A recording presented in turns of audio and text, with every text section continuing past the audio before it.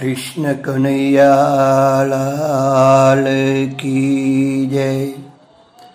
सदगुरु भगवान की जय। वसुदेवं सुतं देवं कंसचाणूरमर्दनम् देवकी परमानन्दम् तस्मै श्रीगुर्वे नमः अखण्डानन्दबोधाय शिष्यसन्तापहारिणे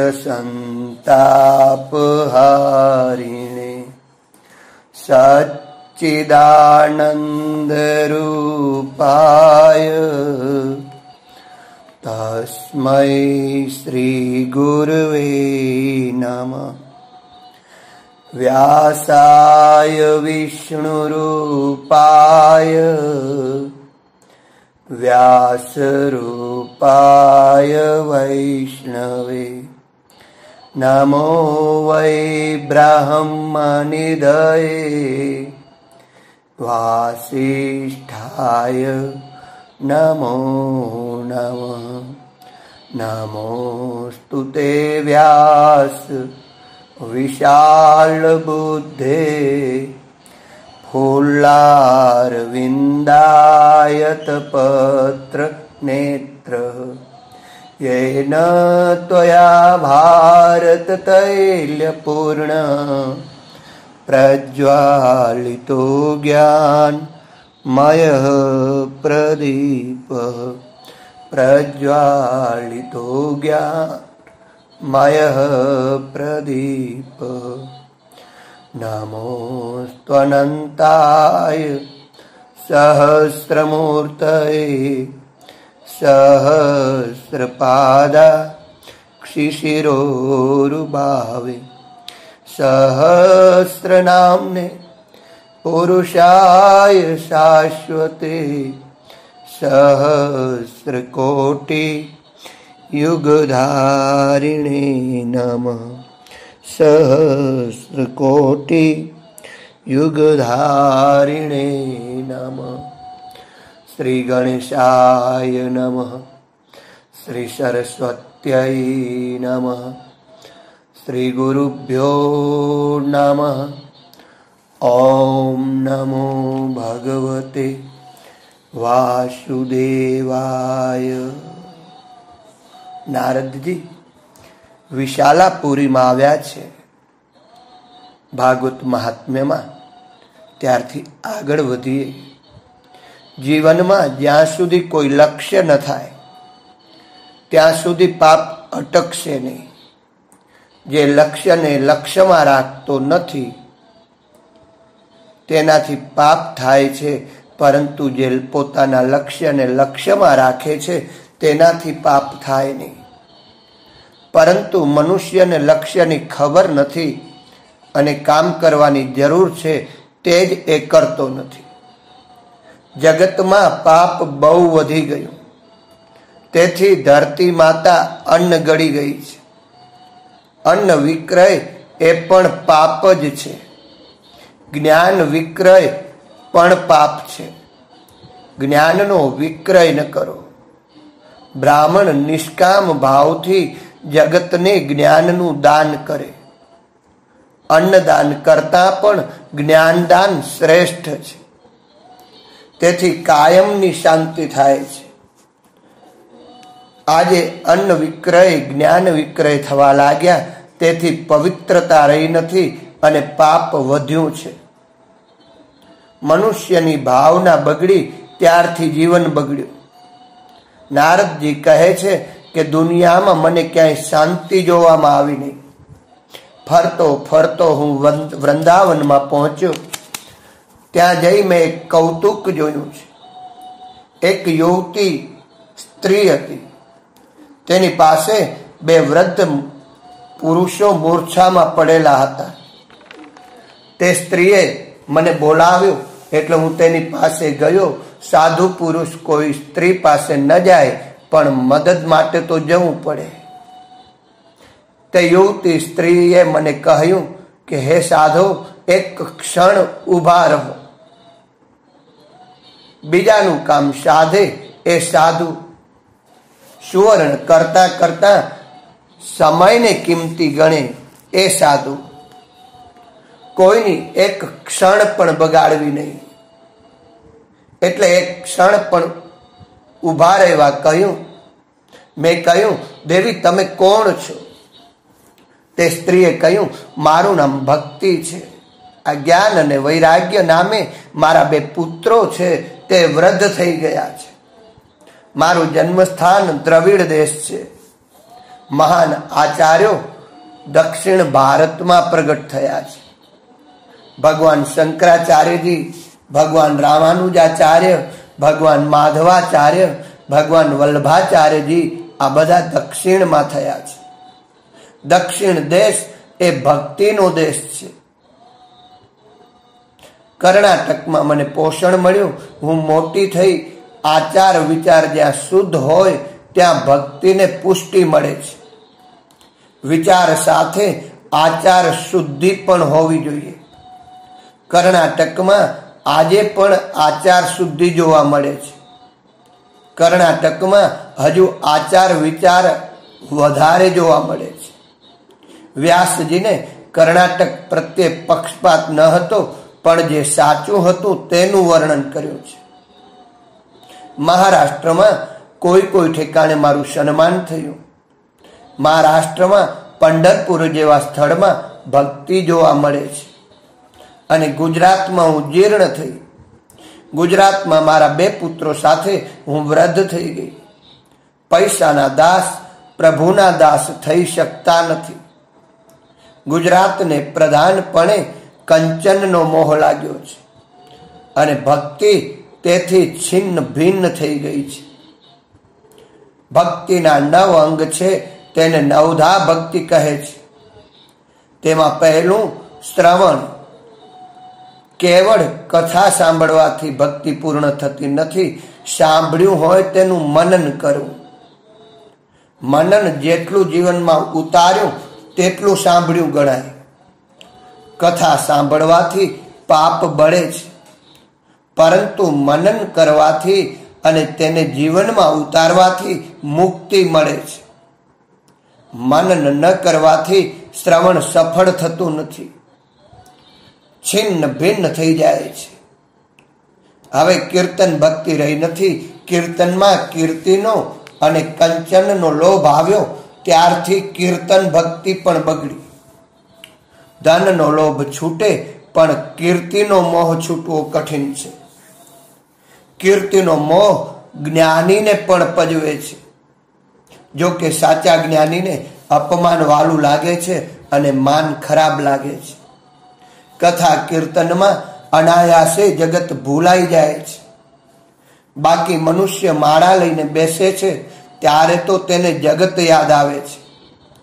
કથામાં બેસો ત્યારે સંસાર વ્યવહારના વિચારો કાઢી નાખો.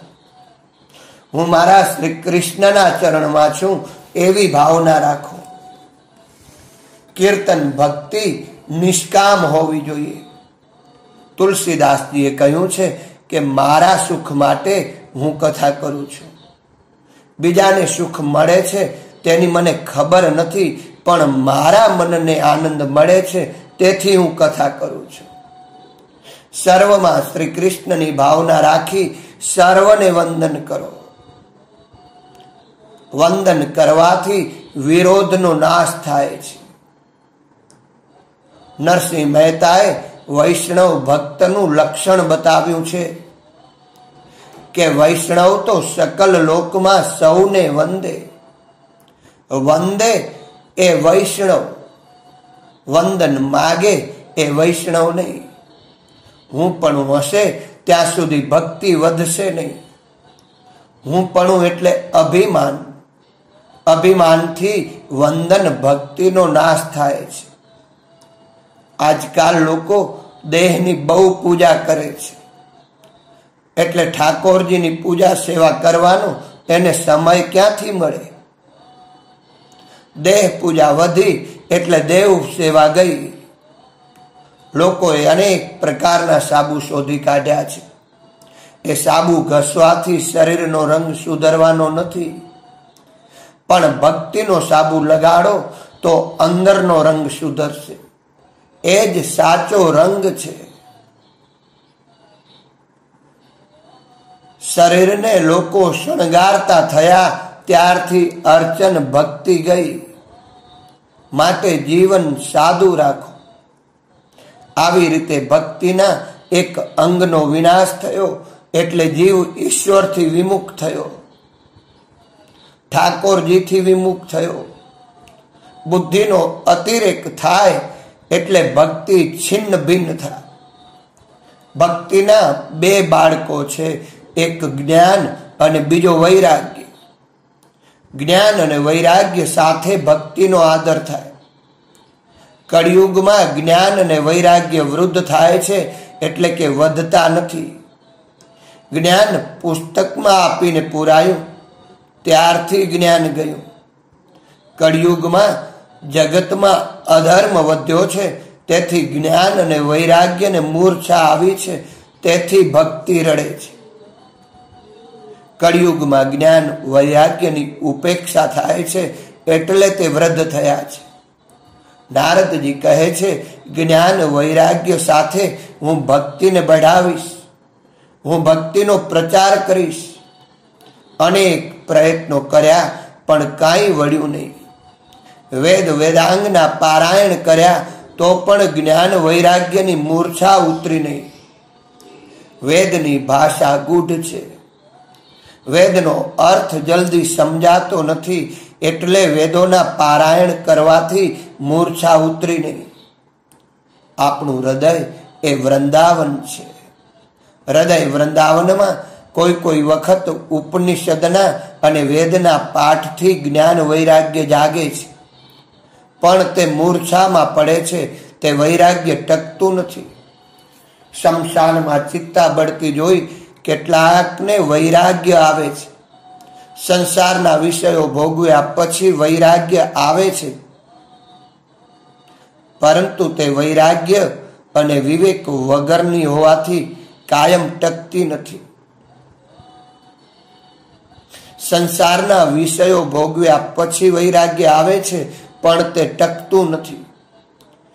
વિષય ભોગવે એટલે તેના પ્રત્યે અરુચિ તો આવે છે, પરંતુ વૈરાગ્ય અને વિવેક વગરની હોવાથી તે કાયમ ટકતી નથી.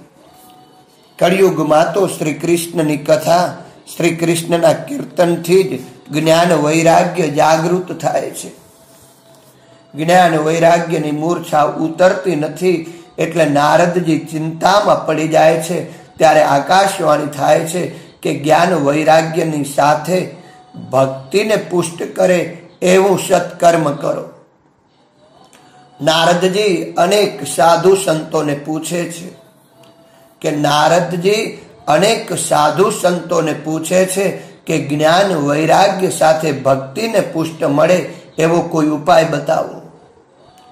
પણ કોઈ નિશ્ચિત ઉપાય બતાવી શક્યા નહીં. ત્યારે નારદજી ફરતા ફરતા બદ્રિકાશ્રમમાં આવ્યા છે. ત્યાં તેમણે સનત કુમારોને જોયા છે. શનકાદી મુનિઓને જોયા છે. ઉપર જણાવ્યા મુજબ, શનકાદી ઋષિઓ અને નારદજીનું મિલન થયું છે. નારદજીએ સનત કુમારોને બધી વાત કહી સંભળાવી. નારદજી કહે, જે દેશમાં હું જન્મ્યો તે દેશને ઉપયોગી ન થાઉં તો મારું જીવન વ્રથા છે આપ બતાવો હું શું સત્કર્મ કરું શનકાદી મુનિઓ કહે છે તમે દેશના દુખે દુખી છો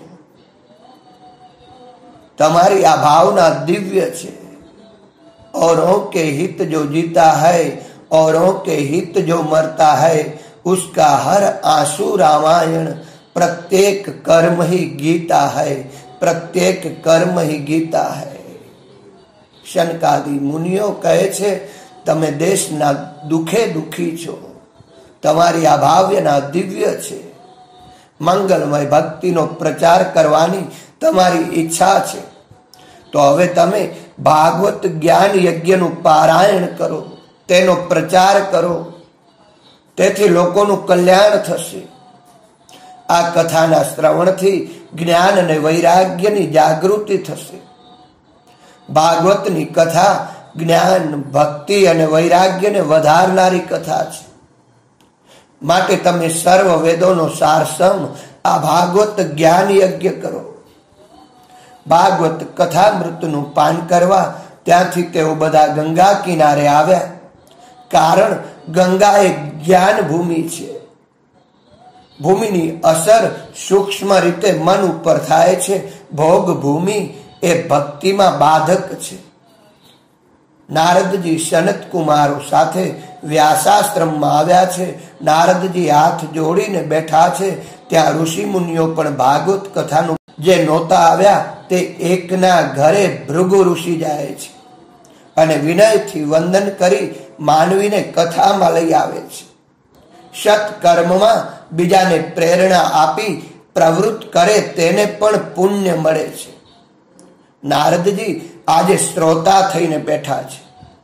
કથાના આરંભમાં જય જયકાર થાય છે.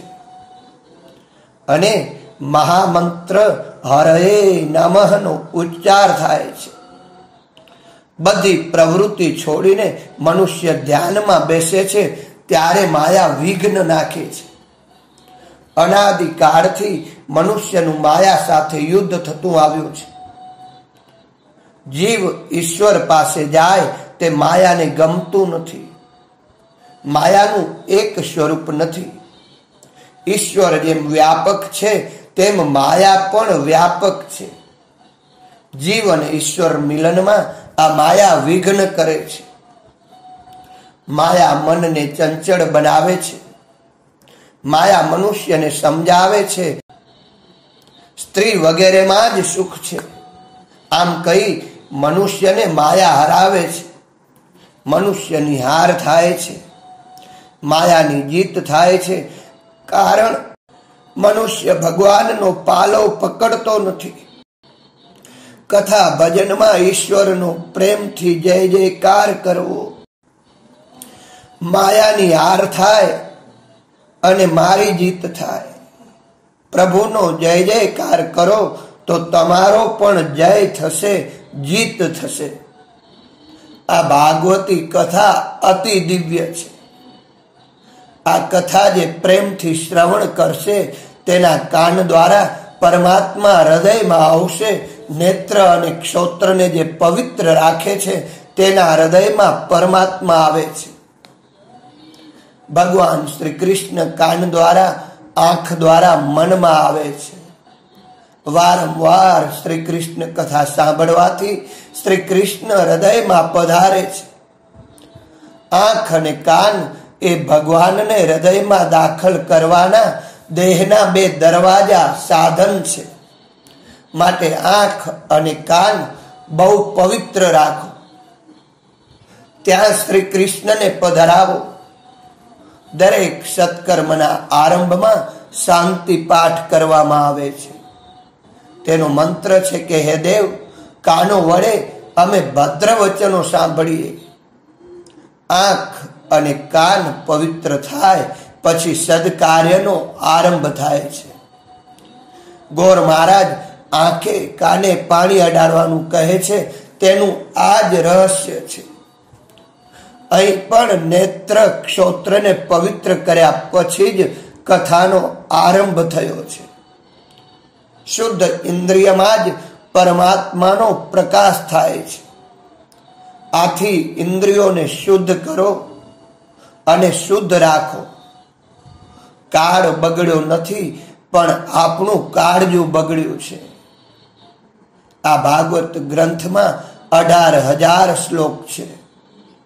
અઢાર એટલે એક વત્તા આઠ બરાબર નવ. અઢારની સંખ્યા, આ નવની સંખ્યા. અઢાર એટલે એક વત્તા આઠ બરાબર નવ. અઢારની સંખ્યા પરિપૂર્ણ છે. રામ પરિપૂર્ણ છે. તેથી નવમીને દિવસે પ્રગટ થયા છે. કૃષ્ણ નવમીએ ગોકુળ આવ્યા ત્યારે નંદ મહોત્સવ કરવામાં આવે છે. રામજીની બાર કળા અને શ્રી કૃષ્ણની સોળ કળા એવો એ બેવમાં ભેદ કરશો નહીં. ભાગવતમાં મુખ્ય કથા છે નંદ મહોત્સવની. તેના શ્લોક પણ અઢાર છે. ગીતાજીમાં કુલ અધ્યાય પણ અઢાર છે. અને સ્થિત પ્રજ્ઞના લક્ષણોના શ્લોકો પણ અઢાર છે. ભાગવત એ નારાયણનું સ્વરૂપ છે. ભગવાન ગોલોક પધાર્યા ત્યારે પોતાનું તેજ આ ગ્રંથમાં પધરાવ્યું. એમ એકાદશ સ્કંદમાં લખ્યું છે. તેથી ભાગવત છે તે ભગવાનની સાક્ષાત શબ્દમય મૂર્તિ છે. ઉદ્ધવજીએ ભગવાનને પૂછેલું છે કે આપના સ્વધામ ગમન પછી આ પૃથ્વી ઉપર અધર્મ વધશે ત્યારે ધર્મ કોને શરણે જશે? ભગવાન ત્યારે કહે છે કે મારા ભાગવતનો આશ્રય લેશે, એના ઘરમાં કડી આવશે નહીં. ભાગવત ભગવાનનું નામ સ્વરૂપ છે. નામ સ્વરૂપથી જ મન શુદ્ધ થયા પછી સ્વરૂપ સેવાનો અધિકાર મળે છે. મનના મેલને દૂર કરવાનું સાધન તે આ ભાગવત શાસ્ત્ર છે. આ કથા સાંભળ્યા પછી પાપ ચાલુ રાખશો તો યમના દૂતો તરફથી બે ફટકા વધારે પડશે. મનુષ્ય પત્ની ધન અને ભોજનમાં પ્રેમ કરે છે, પણ પ્રભુમાં પ્રેમ કરતો નથી, તેથી તે દુઃખી છે. રંગદાસ કરીને એક શેઠ હતા. તે એક વેશ્યામાં અતિ આસક્ત હતા. એક દિવસ રંગદાસ અને તે વેશ્યા રંગનાથના મંદિર પાસેથી જઈ રહ્યા હતા. શ્રીમંત રંગદાસે વેશ્યાને માથે છત્રી ધરી. રામાનુજાચાર્ય મંદિરમાંથી બહાર નીકળતા નીકળતા આ દ્રશ્ય જોયું. રંગદાસ પર તેમને દયા આવી. એમણે કહ્યું, રંગદાસ, તમે આ વેશ્યા પર પ્રેમ કરો છો. તે જોઈને મને આનંદ થાય છે, પણ આ સ્ત્રી કરતા પણ મારા રંગનાથ ઘણા સુંદર છે. તમે એકવાર જુઓ તો ખબર પડે. આમ કહી તેમણે રંગદાસને થપ્પડ મારી, સંતની થપ્પડ કેટલાય પુણ્ય કર્યા હોય ત્યારે મળે છે. રંગદાસને સમાધિ લાગી ગઈ, તેને રંગનાથના દર્શન થયા. બસ, પછી રંગદાસને, પછી રંગદાસ એ સ્ત્રીમાં પ્રેમ કરવો ભૂલી ગયા. મનુષ્ય બાલાવ્યસ્થામાં મા સાથે પ્રેમ કરે છે. જરા મોટો થતા મિત્રો ઉપર પ્રેમ કરે છે. લગ્ન થયા એટલે પત્ની સાથે પ્રેમ કરે છે. ત્યારબાદ પુત્ર પર પ્રેમ કરે છે. ત્યારબાદ પૈસા પર પ્રેમ કરે છે વગેરે. આમ તેના પ્રેમ પાત્ર બદલતા રહે છે. બદલાતા રહે છે. માટે ઈશ્વરને પ્રેમનું પાત્ર બનાવો, જેથી પ્રેમનું પાત્ર બદલવાનો જલ્દી પ્રસંગ જ ના આવે. આજકાલ લોકો ભક્તિ બહુ કરે છે, પરંતુ ભગવાનને સાધન માને છે અને સંસારના સુખને સાધ્ય માને છે. તેથી ભક્તિ ફળતી નથી. ભગવાનને સાધ્ય માનો સંસારના સુખને નહીં. કથા કોઈને હસાવવા માટે નથી, કથા ઈશ્વરને રાજી કરવા માટે છે. શ્રોતાઓના હૃદયમાં જે શોક જાગૃત કરે છે તે સુખ છે. કથા શુદ્ધ હૃદય રડવા માટે છે. મારા જીવનનો આટલો સમય નકામો ગયો, વગેરે ભાવ હૃદયમાં જાગે, તો આ કથા સાંભળી સાર્થક છે. કથા સાંભળ્યા પછી પણ વૈરાગ્ય ના આવે, પાપ ના છૂટે, તો કથા સાંભળી શું કામની? ભાગવતની કથા શ્રવણથી દર્શનથી, પૂજનથી પાપનો નાશ થાય છે. શ્રીમદ ભાગવતના શ્રવણ માત્રથી સદગતિ મળે છે. દ્રષ્ટાંત વગર સિદ્ધાંત મનમાં ઠસતો નથી. તેથી આત્મદેવ બ્રાહ્મણનું દ્રષ્ટાંત કઈ કથા શ્રવણનો મહિમા સમજાવે છે. તુંગભદ્રા નદીના કિનારે એક ગામ હતું. ત્યાં આત્મદેવ નામનો એક બ્રાહ્મણ પોતાની પત્ની ધુંધુલી સાથે રહેતો હતો. આત્મદેવ પવિત્ર હતો, પણ ધુંધુલી સ્વભાવની ક્રૂર હતી. પારકી પંચાત કરવાવાળી અને ઝઘડાળુ હતી. આત્મદેવ નિઃસંતાન હતો સંતતિના અભાવે તે ખૂબ દુઃખી હતો. તેથી તેણે આત્મહત્યા કરવાનો નિશ્ચય કર્યો છે. તે માટે તે નદીમાં તે વનમાં નદી કિનારે આવ્યો. ત્યાં તેણે તેને એક મહાત્મા મળ્યા છે. આત્મદેવ મહાત્મા પાસે દુઃખ રડવા લાગ્યો કે ખાવાનું ઘણું છે. પણ ખાનારો કોઈ નથી એટલે દુઃખી છે. તેથી આત્મહત્યા કરવા અહીં આવ્યો છે. મહાત્માએ કહ્યું, તારે પુત્ર નથી, એમાં ભગવાનની કૃપા છે. છોકરો ન થાય તો સમજવું કે ઠાકોરજી, એ મારા ઉપર, મારા હાથે બધું જ ધન વાપરવાનું મારા નસીબમાં લખ્યું છે. એટલા માટે મને પુત્ર આપ્યો નથી. તેથી ઈશ્વર જે સ્થિતિમાં રાખે એમાં આનંદ માનવો. એકવાર એકનાથજી મહારાજ વિઠ્ઠલનાથજીના મંદિરમાં દર્શન કરવા ગયા. એકનાથજી મહારાજને લાયક પત્ની મળી હતી. તેથી તેઓ ભગવાનના ઉપકાર માને છે. એકનાથ મહારાજ કહે છે કે મને સ્ત્રી સંગ નહીં, પણ સત્સંગ મળ્યો છે. હે પરમાત્મા, હે વિઠ્ઠલનાથ, તમે મારા ઉપર બહુ ઉપકાર કર્યો છે. તમે મને અનુકૂળ પત્ની આપી છે, તેથી જ હું તમારું ભજન કરી શકું છું. થોડી વાર પછી ત્યાંથી તુકારામ મહારાજ દર્શન કરવા આવ્યા છે. તુકારામ મહારાજના પત્ની કર્કશા હતા. છતાં તુકારામ મહારાજ આ સ્ત્રી આપવા બદલ ભગવાનનો ઉપકાર માને છે. કહે છે કે તમે મને પ્રતિકૂળ પત્ની આપી છે એટલે તમારું હું ભજન કરી શકું છું. પત્ની સારી મળી હત તો હું તેની પાછળ દોડત, તમને ભૂલી જાત. એકનાથજી મહારાજને અનુકૂળ પત્ની મળી છે, તેથી આનંદ છે. અને તુકારામ મહારાજને પ્રતિકૂળ પત્ની મળી છે, તોય આનંદ છે. જ્યારે નરસિંહ મહેતાના કુટુંબનો નાશ થયો, છતાં મહેતાએ તેમાં આનંદ માન્યો છે અને ગાયું છે, ભલું થયું ભાંગી જંજાળ, સુખે ભજશું શ્રી ગોપાલ. એકની પત્ની અનુકૂળ છે, બીજાની પત્ની પ્રતિકૂળ છે, ત્રીજાની પત્નીનું તો મરણ થયું છે, તો પણ આ ત્રણેય મહાત્માઓ આનંદ માને છે. વૈષ્ણવ, તેનું નામ કે જે પ્રત્યેક પરિસ્થિતિમાં પરમાત્માની કૃપાનો અનુભવ કરે અને મનને શાંત રાખે. માતા પિતાને પુત્ર માટે બહુ ચિંતા હોય છે. પણ પુત્રેષણા પછી અનેક વાસનાઓ આવે છે. પુત્રેષણા પછી વિતેષણા અને પછી લોકેશણા જાગે છે. આત્મદેવી મહારાજ આત્મદેવે કહ્યું, મહારાજ, મને પુત્ર આપો, પુત્ર વિના પિતાની સદગતિ નથી. કૃષ્ણ કનૈયા લાલ કી જય.